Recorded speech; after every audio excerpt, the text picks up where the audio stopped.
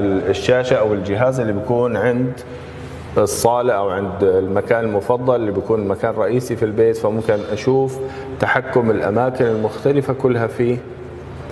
مثل ما شايفين أو أختار الطوابق الطابق الأرضي الأول البيزمنت وأخذ التحكمات المتعلقة فيه كامله